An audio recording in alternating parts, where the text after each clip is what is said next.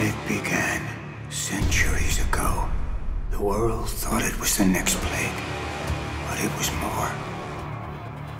Slowly, the world is being consumed of all human soul.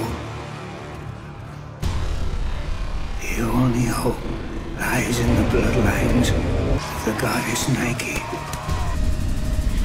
Only they can bring an end to chaos.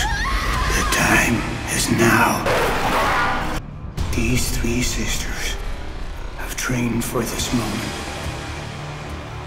I felt a power within me. But we're going into battle together. The world is within my grasp. Cool up now!